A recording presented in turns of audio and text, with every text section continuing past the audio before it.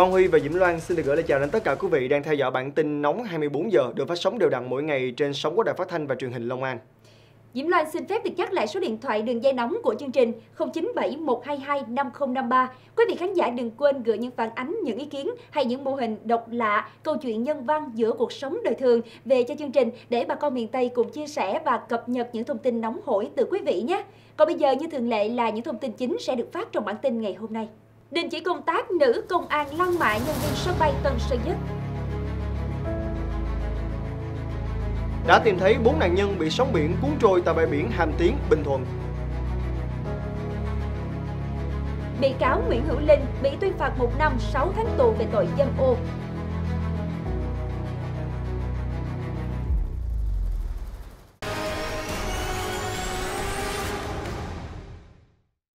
Vài ngày tại cửa khẩu đường bộ Kim Thành thuộc cửa khẩu quốc tế Lào Cai, hàng trăm xe container chở thanh long bị ùn lại do một số thay đổi về chính sách vận tải hàng hóa phía Trung Quốc và việc kiểm soát hàng hóa phía bạn chặt hơn trước đã dẫn đến nhiều chủ hàng lao đao. Tại cửa khẩu Hữu Nghị và cửa khẩu Tân Thanh, tỉnh Lạng Sơn cũng diễn ra tình trạng tương tự, rất nhiều lô hàng nhập khẩu bị ủng ứ. Nguyên nhân do phía Trung Quốc có cung cấp cho doanh nghiệp mẫu giấy chứng nhận xuất xứ hàng hóa mới và yêu cầu thực hiện ngay mà không thông báo trước, khiến cho không chỉ cộng đồng doanh nghiệp lúng túng mà cả phía cơ quan hải quan Lạng Sơn cũng bị động hướng giải quyết. Thật hư sự việc này như thế nào? Mời quý vị sẽ cùng theo dõi ghi nhận sau đây. Đại diện chi cục Hải quan Tân Thanh, cục Hải quan Lạng Sơn cho biết, phía Trung Quốc áp dụng mẫu CO mới không thông báo, nên trong quá trình chờ hướng dẫn từ phía các cơ quan liên quan, đơn vị đã hướng dẫn doanh nghiệp nộp thuế trước để thông quan các lô hàng và bổ sung CO sau để được hưởng ưu đãi. Tuy nhiên, nhiều doanh nghiệp thắc mắc và không đồng thuận. Hiện nay, toàn bộ hàng nông sản, hoa quả nhập khẩu qua cửa khẩu Tân Thanh đều được các doanh nghiệp nộp CO from air để được hưởng thuế ưu đãi đặc biệt. Mặt khác, đây là hàng nông sản cần thực hiện thông quan nhanh chóng, nên quy định này ảnh hưởng rất nhiều đến các doanh nghiệp. Hiện Hải quan Lạng Sơn đã ghi nhận vướng mắt của doanh nghiệp và gửi công văn báo cáo Tổng cục Hải quan, xin hướng dẫn đối với sự việc này. Để tuồn được đường cát nhập lậu qua biên giới vào nội địa tiêu thụ, các đối tượng buôn lậu ở huyện An Phú, tỉnh An Giang đã dùng nhiều thủ đoạn từ thay đổi bao bì nhãn mát ở bên kia biên giới cho đến xoay vòng hóa đơn. Tinh vi hơn, chúng còn trộn lẫn đường nhập lậu với đường nội địa, hóa lỏng đường cát, chế biến thành đường phèn để dễ dàng qua mặt các cơ quan chức năng. Liên quan đến vấn nạn này, vào ngày hôm nay, Công an thị xã Tân Châu, tỉnh An Giang đã kịp thời phát hiện bắt giữ một vụ vận chuyển đường cát nhập lậu với số lượng khủng qua biên giới. Cụ thể, qua công tác trinh sát phát hiện nhiều xe gắn máy chở nhiều bao hàng nghi vấn là đường cát nhập lậu từ biên giới ra vào công ty trách nhiệm hữu hạn xuất nhập khẩu Hòa Phát Tân Châu có địa chỉ tại ấp 3, xã Vĩnh Sương, thị xã Tân Châu, tỉnh An Giang. Công an thị xã Tân Châu đã nhanh chóng bố trí lực lượng phối hợp với lực lượng 389 thị xã tiến hành kiểm tra công ty trên và phát hiện các đối tượng đang cắt miệng bao đường cát có nhãn hiệu nước ngoài đổ vào bồn chứa. Nhiều vỏ bao ni lông mang nhãn hiệu đường cát nước ngoài nằm rải rác bên cạnh. Lực lượng kiểm tra bên trong công ty có 3 bồn chứa nguyên liệu, trong đó có hai bồn chứa đường cát trắng đã được đổ đầy. Qua kiểm tra, tất cả số hàng hóa trên không có hóa đơn chứng từ chứng minh nguồn gốc xuất xứ, với trọng lượng gần 20 tấn đường cát nhập lậu, ước tổng trị giá hàng hóa gần 240 triệu đồng. Trong 6 tháng đầu năm 2019, lực lượng chức năng thị xã Tân Châu đã bắt giữ 156 vụ vi phạm, trong đó 91 vụ buôn lậu, 65 vụ gian lận thuế, với tổng giá trị hàng hóa ước tính khoảng 1 tỷ 300 triệu đồng. Một ô tô chở hàng ngàn bao thuốc lá lậu tại địa bàn tỉnh Bình Dương phóng nhanh vượt đèn đỏ khi bị lực lượng chức năng phát hiện đã không dừng lại mà tiếp tục bỏ chạy. Lực lượng cảnh sát giao thông địa phương đã phải truy đuổi hơn 20 km mới bắt được chiếc xe ngoan cố này.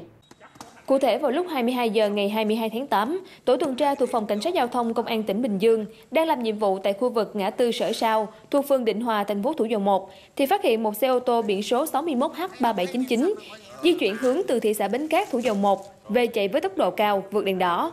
Khi tổ tuần tra ra hiệu lệnh dừng xe để kiểm tra thì tài xế không chấp hành mà điều khiển xe bỏ chạy về hướng thị xã Tân Uyên. Lực lượng tuần tra đã tổ chức truy đuổi xe vi phạm khi đến phường Phú Tân, thành phố Thủ Dầu Một, thì tài xế bỏ lại xe ô tô rồi chạy trốn. Qua kiểm tra, lực lượng chức năng phát hiện trên xe đang vận chuyển 7.000 gói thuốc lá điếu ngoại nhập lậu hiệu Z Hero. Trước đó, tại tỉnh Bình Dương đã xảy ra vụ xe chở thuốc lá lậu khi bị phát hiện đã trồ ga chạy trốn. Trong quá trình bỏ chạy nhiều lần tông thẳng vào xe cảnh sát giao thông, khiến hai chiến sĩ công an bị thương. Sau khi phiên tòa sơ thẩm trước đó tuyên hoãn để điều tra bổ sung, sáng nay tòa án nhân dân quận 4 thành phố Hồ Chí Minh xét xử bị cáo Nguyễn Hữu Linh, nguyên phó viện trưởng Viện kiểm sát nhân dân thành phố Đà Nẵng về hành vi dâm ô đối với cháu bé 8 tuổi tại chung cư Galaxy 9 quận 4, khiến dư luận bức xúc trong suốt thời gian vừa qua. Khác với phiên tòa trước đó, lần này bị cáo Nguyễn Hữu Linh khá điềm tĩnh, bước đi thông thả hơn, không còn cảnh tháo chạy vội vã trước ông kính phóng viên như lần trước. Bản án nào sẽ dành cho bị cáo Nguyễn Hữu Linh? Mời quý vị theo dõi diễn biến tại tòa. Ghi nhận rất nhiều lực lượng như công an phường, dân quân tự vệ, lực lượng an ninh, cảnh sát giao thông từ sáng sớm ngày 23 tháng 8 đã có mặt tại trụ sở ở tòa án nhân dân quận 4 thành phố Hồ Chí Minh để tham gia hỗ trợ bảo vệ phiên tòa xét xử bị cáo Nguyễn Hữu Linh, nguyên phó viện trưởng Viện kiểm sát nhân dân thành phố Đà Nẵng về hành vi dâm ô đối với người dưới 16 tuổi. Tại phiên tòa, Viện Kiểm sát cho rằng hành vi của Nguyễn Hữu Linh là nguy hiểm cho xã hội, đã xâm phạm đến nhân phẩm danh dự người dưới 16 tuổi, làm ảnh hưởng xấu đến tình hình an ninh trật tự xã hội tại địa phương. Vì vậy, cần phải truy cứu trách nhiệm hình sự, xử lý nghiêm minh trước pháp luật nhằm răng đe giáo dục và phòng ngừa chung cho xã hội. Hội đồng xét xử đã tuyên phạt bị cáo Nguyễn Hữu Linh, nguyên phó viện trưởng Viện Kiểm sát Nhân dân thành phố Đà Nẵng, một năm 6 tháng tù giam. Tỏ ra khá bất ngờ khi tòa tuyên án, ông Nguyễn Hữu Linh không đứng vững, vẻ mặt thất thần. Ngay khi kết thúc phiên tòa, ông Linh đã có đơn kháng cáo toàn bộ bản án. Thưa quý vị, vào ngày hôm qua, trên mạng xã hội lan truyền đoạn clip ghi lại cảnh một nữ hành khách có tên Lê Thị Hiền, 36 tuổi, trú tại Hà Nội, mắng chửi thậm tệ nhân viên tại quầy làm thủ tục hành lý của Vietnam Airlines tại sân bay Tân Sơn Nhất. Đáng nói, những cử chỉ hành động thiếu văn hóa này diễn ra ngay trước mặt con gái nhỏ của người phụ nữ này. Bất ngờ hơn khi hành khách này lại là nữ cán bộ công an với hành động chửi bới nhân viên của Vietnam Airlines bằng rất nhiều lời lẽ thô tục, cay nghiệt và thái độ thách thức. Mặc dù nhiều hành khách khác và nhân viên an ninh sân bay đã cố gắng can ngăn, hiện công an thành phố Hà Nội đã ra quyết định đình chỉ công tác 30 ngày đối với nữ cán bộ công an này. Được biết lý do xảy ra sự việc là do bà Hiền mang hành lý quá tiêu chuẩn miễn cước nên đồng ý mang theo hành lý sách tay. Tuy nhiên, qua khâu an ninh soi chiếu, bà Hiền làm mất thẻ lên máy bay nên đến quầy check-in của Vietnam Airlines lớn tiếng đòi trả vé. Sau sự việc, Trung tướng Đoàn Duy Khương, Giám đốc Công an thành phố Hà Nội đã chỉ đạo đình chỉ công tác của bà Hiền 30 ngày để kiểm điểm xử lý nghiêm. Nữ hành khách Lê Thị Hiền cũng đã bị đồn công an sân bay quốc tế Tân Sơn Nhất phạt 200.000 đồng. Cục trưởng Cục Hàng không Việt Nam Đinh Việt Thắng cho biết nếu cơ quan công an đề nghị cơ quan quản lý hàng không áp dụng hình phạt bổ sung, Cục Hàng không sẽ căn cứ vào mức độ vi phạm để xử lý nghiêm minh, thậm chí là Cục sẽ ra quyết định cấm bay đối với hành khách Lê Thị Hiền.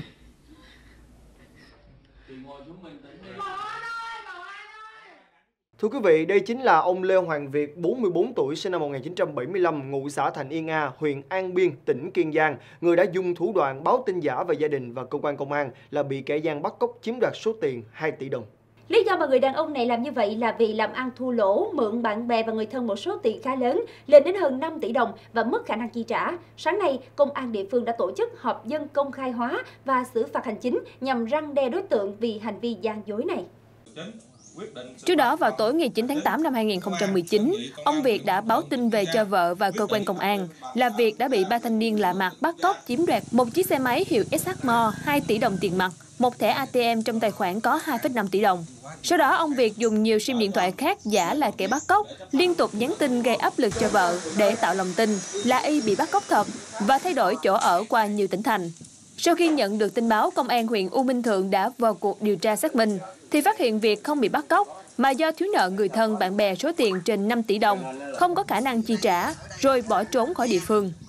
Đến ngày 14 tháng 8 năm 2019, biết mình không qua mắt được cơ quan chức năng, nên Việt đã đến cơ quan cảnh sát điều tra đầu thú và khai nhận toàn bộ hành vi báo tin giả. Xét thấy hành vi đương sự gây xôn xao dư luận, làm ảnh hưởng đến tình hình an ninh trật tự ở địa phương.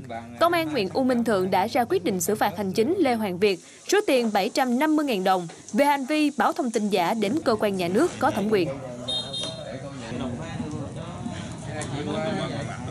Kính thưa quý vị, sáng nay chương trình vừa tiếp nhận thông tin nóng từ tỉnh Bình Thuận. Trên địa bàn đã xảy ra vụ đuối nước hết sức thương tâm. Theo đó, thì một nhóm du khách đến từ Bảo Lộc, Lâm Đồng đến vui chơi tại bãi biển Hàm Tiến. Do biển động sóng lớn, 7 nạn nhân đã bị sóng cuốn trôi. Được biết các nạn nhân còn rất trẻ, đang theo học tại thành phố Hồ Chí Minh.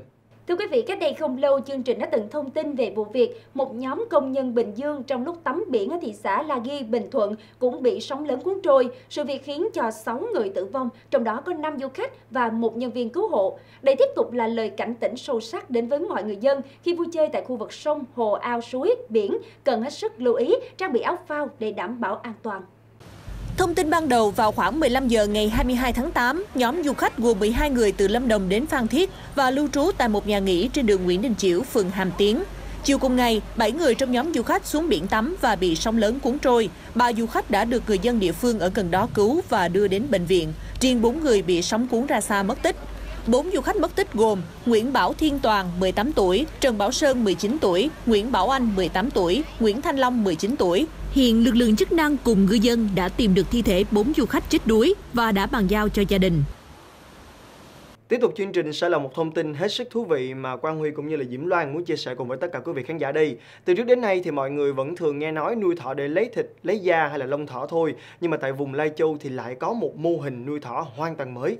Vâng và đó chính là chiết xuất vaccine theo tiêu chuẩn Nhật Bản từ thỏ. Ngay bây giờ thì chúng ta sẽ cùng ghé lại xã Nậm Cần, huyện Than Uyên, nhà của anh Nguyễn Quang Thành để chiêm ngưỡng mô hình mới lạ này nhé. Năm 2018, được sự giới thiệu của chính quyền địa phương, công ty dược phẩm Nipponzuki của Nhật Bản đã tới tận trang trại của anh Thành để tìm hiểu và ký hợp đồng hợp tác. Khi tham gia dự án này, các hộ nuôi thỏ như anh Thành sẽ được hỗ trợ về con giống, thức ăn, kỹ thuật và bao tiêu toàn bộ đầu ra cho sản phẩm. Từ 400 con thỏ giống ban đầu, đến nay đàn thỏ ở đây đã phát triển lên tới gần 2.000 con. Nuôi con thỏ làm vaccine này phục vụ cho y học ấy, thì đó là nó nuôi thỏ sạch phần trăm phần trăm. Đấy, nó có nghĩa là mình sẽ dùng bằng một số những cái ờ, cám của công ty Nhật người ta cấp. Thứ hai nữa là là mình nuôi là không có kháng sinh. Đấy, mình sẽ dùng bằng những số những một số cái thảo dược để trị những cái bệnh nó đau bụng, trướng bụng, đầy hơi. Hiện trên địa bàn xã mới có hai nhóm hộ gia đình nuôi thỏ để chiết xuất vaccine. Trung bình một con thỏ nuôi để chiết xuất vaccine cho thu lãi từ 2 đến 2 triệu 500 ngàn đồng. Mô hình thỏ nuôi để chiết xuất vaccine ý, thì ờ, về chủ trương của xã thì ờ, giao cho hai nhóm hộ gia đình để phát triển cái cái cái cái cái, cái, cái kinh tế. Thế và cái bước đầu thì, thì đối với cái hiệu quả kinh tế mang lại thì rất là khả quan. Khác hẳn ờ, so với lại nuôi một số các cái mô hình nuôi thỏ thương phẩm. Mặc dù mới phát triển nhưng mô hình chăn nuôi thỏ chiết xuất vaccine đã cho thấy hiệu quả nhờ áp dụng đúng quy trình kỹ thuật và cam kết với doanh nghiệp thu mua. Mô hình chăn nuôi này thực sự đang cho thấy tín hiệu đáng mừng trong việc giúp cho người dân ở địa phương tăng thu nhập, vươn lên làm giàu ngay trên mảnh đất quê hương. Mới đây tại thành phố Hồ Chí Minh đã diễn ra một lễ hội cực kỳ độc đáo quy tụ hàng trăm ứng cử viên bốn chân súng xính, váy áo điệu đà thu hút mọi ánh nhìn. Màn trễ hội này có gì hấp dẫn? Quý vị hãy cùng theo dõi với hình ảnh ngay sau đây nhé.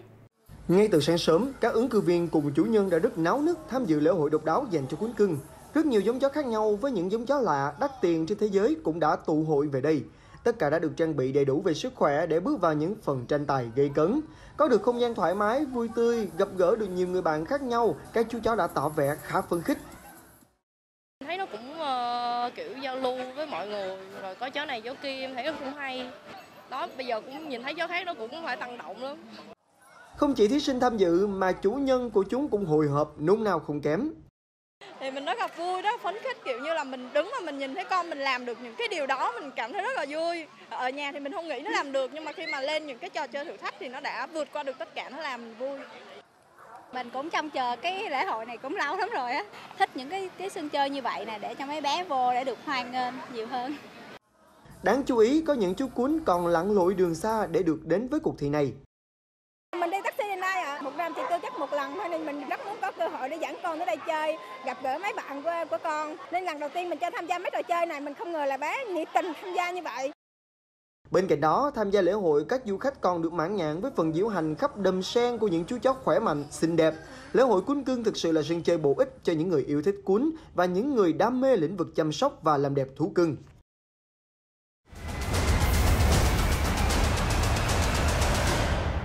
Chắc chắn là quý vị đã từng nghe nói cũng như là chứng kiến những phát minh hiện đại về ô tô không người lái rồi đúng không ạ? Nhưng ngay tại Việt Nam của chúng ta đã có bao giờ quý vị thấy xe máy không người lái hay chưa? Thật sự nghe là đã thấy rất là kỳ lạ rồi đúng không ạ? Nhưng mà nói có sách và mắt thì có chứng. Camera nóng đã ghi nhận hình ảnh ấy tại tuyến đường Lê Hồng Phong thuộc phường Phú Hòa, thành phố Thủ Dầu Một, Bình Dương. Ghi nhận tại đường Lê Hồng Phong, phường Phú Hòa, thành phố Thủ Dầu Một, tỉnh Bình Dương, thời điểm này đường khá đông xe cộ, bất ngờ từ trong con hẻm đối diện lao ra một chiếc xe máy hiệu Attila không người lái. Phía sau là một người đàn ông cố gắng chạy theo. Thế nhưng không kịp, chiếc xe tông sầm vào tiệm tạp hóa. Cũng may không có thương vong về người. Nhìn hình ảnh trong camera thì những người dân cả phút sau vẫn chưa hoàn hồn. Còn quý vị thì sao? Kính thưa quý vị, ai trong chúng ta cũng đều biết rằng xe cấp cứu trong lúc làm nhiệm vụ là phương tiện ưu tiên hàng đầu trên mọi tuyến đường. Khi thấy còi báo hiệu của loại xe này, tất cả các phương tiện đang tham gia giao thông bắt buộc phải nhường đường ngay lập tức. Ấy vậy mà trên thực tế vẫn còn rất nhiều người phớt lờ điều này, xe cấp cứu cũng chặn gây bức xúc trong dư luận. Tại một khu vực giao lộ, các phương tiện đang dừng đèn đỏ, chiếc xe cấp cứu này liên tục hú còi xin đường, nhưng chiếc ô tô 7 chỗ phía trước vẫn thẳng nhiên đứng yên, không di chuyển. Vì quá gấp, xe cứu thương đành phải lách qua để chạy lên trước. Tiếp tục chương mục camera nóng hôm nay là hình ảnh về một ba mẹ Hải Dương vô tư dừng xe giữa đường bất chấp mọi nguy hiểm chỉ để mặc áo mưa cho con. Và hậu quả đã đến, khoảnh khắc thật khiến cho mọi người phải hồn vía lên mây. Theo hình ảnh từ đoạn clip trích xuất từ camera an ninh, người phụ nữ đi xe máy chở theo con nhỏ dừng xe giữa đường để mặc áo mưa. Khi người phụ nữ đang trùm áo mưa lên đầu thì bất ngờ một chiếc xe máy khác cùng chiều do cô gái trẻ điều khiển lao tới tung thẳng vào hai mẹ con. Vụ va chạm khiến chiếc xe máy của người phụ nữ lao thẳng lên phía trước, cháu bé ngồi trên xe ngã bệt xuống đường, khóc thét và ôm chặt lấy mẹ. Chiếc xe của cô gái trẻ cũng đổ sóng xoài ra đường. May mắn là cháu nhỏ cùng mẹ không việc gì. Tâm lý chung của một số chị em phụ nữ thường rất hoảng loạn khi lỡ gặp tình huống bất ngờ xảy ra với mình, như hai cô gái trong tình huống sau đây. Đang lái xe máy trên đường bị chó đuổi, thế là hai cô gái đã phóng xe thẳng vào bụi cây, hất văng cả thùng rác. Vụ việc xảy ra tại Cần Thơ khiến cho nhiều người không khỏi nhịn cười, cũng không kém phần thương cảm khi chứng kiến. Cụ thể, đoạn clip ghi lại cảnh hai cô gái trẻ chở nhau trên xe máy thì chẳng may bị chó rượt. Quá hoảng hốt, họ la hét ầm ĩ, vừa la hét vừa phóng xe tốc độ cao lao thẳng vào bụi cây, tông đổ luôn chiếc thùng rác bên đường. Chiếc xe đổ ngã, hai cô gái cũng ngã sống xoài. Ngay sau khi hai cô gái vào bụi cây, những người dân sinh sống xung quanh mới xuất hiện. Họ chạy vào bụi cây cứu giúp hai cô gái ra ngoài. Trong khi đó, tiếng chó sủa vẫn vằn vẳng.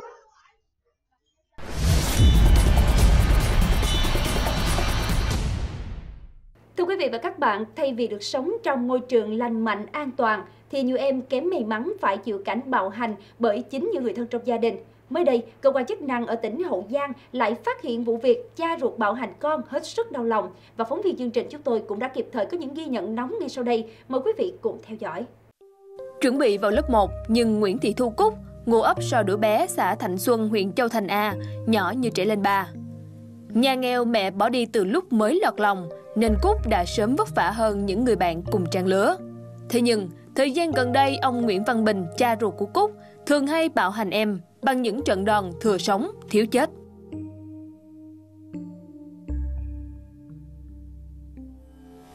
Và mới đây, ngày 17 tháng 8 vừa qua, ông Bình bị cơ quan công an bắt quả tang khi đánh Cúc bằng một khúc gỗ và một thanh sắt dài gần 1 mét. Khi em nhậu nhậu ở nhà con nó cũng có hơi bệnh rồi kêu thôi con à, đừng có ăn bánh nữa ăn cơm đi. À, cha cũng hết tiền mua thuốc cho con uống rồi.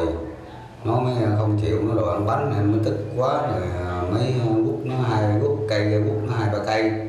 Rồi có con cũng hơi giận mới gút cái cây sắt kề cửa nó gút trúng vô cái đầu của nó. Ngay sau khi sự việc xảy ra, Công an huyện Châu Thành A đã tạm giữ hình sự ông Bình về hành vi hành hạ con đồng thời phối hợp cùng Hội Phụ nữ huyện đưa cháu Cúc đi kiểm tra sức khỏe. Kết quả cho thấy, ngoài vết thương trên đỉnh đầu thì hai tay và chân Cúc còn bị chi chít vết bầm mới lẫn cũ. Trao đổi với cơ quan chức năng, bác của cháu Cúc cho biết nhiều lần chứng kiến em mình đánh cháu nhưng không dám can ngăn. Sợ, sợ hỏi ra nó, nó dát vào à. Nó dát vào, dính rồi sợ, sợ gì về lỡ mà nếu mà can hay hoặc trình công an. Thì thằng này nó nói là trình công an để bắt tôi. Ờ, tôi ra tù rồi về rồi. Hội cũng à, cùng với hội phụ nữ xã đã vận động được một số quà vật tặng cho bé như là à, ba bộ quần áo, một số dụng cụ học tập và à, một 10 10 quyển tập. Rồi bước kế tiếp thì hội sẽ chuẩn bị để làm cái thủ tục à, giấy khai xanh cho bé tại vì hiện tại là bé có giấy chứng xanh nhưng mà chưa được làm giấy khai xanh để đi học. Hiện bác của Nguyễn Thị Thu Cúc đã nhận em về chăm sóc. Niềm vui đã trở lại trên gương mặt con trẻ, nhưng những tổn thương về thể chất và tinh thần đối với Cúc sẽ còn dai dẳng. Vụ việc một lần nữa là giọt nước làm tràn ly về tình trạng bạo hành trẻ em thời gian qua. Những thông tin vừa rồi cũng đã khép lại bản tin nóng 24 giờ ngày hôm nay. Chân thành cảm ơn sự quan tâm theo dõi của quý vị. Quang Huy và Diễm Loan xin đi hẹn gặp lại quý vị trong khung giờ này vào ngày mai để có thể theo dõi những thông tin nóng. Xin chào.